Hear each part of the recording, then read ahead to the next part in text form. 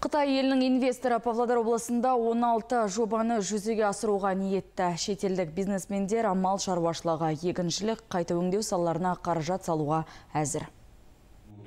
облыстық әкімдікте өткен кәсіпкер сағатына бұл жолы қытайлық инвестор келіп жобалармен таныстырды аспан асты елінің кәсіпкері қазақстан мен қытай арасындағы бір белдеу бір жол бағдарламасы аясында бірқатар жобаларын ұсынып отыр олар көбінесе мал және егін шаруашылығында қайта өңдеу кәсіпорындары Э, екі миллиард үш жүз миллион ақш доллары. Оның ішінде бірінші кезекте 800 миллион доллар ақша құйылады. Жалпы 16 жобаны жоспарлап отырмыз. Жобалардың ішінде мал азығын өңдейтін зауыт құс фабрикасын салу мамық өңдеу кәсіпорны қант зауыты сүт өнімдері кәсіпорны секілді ірі жобалар бар. Есенбек санатұлы досымбек тоқай ертіс ақпарат.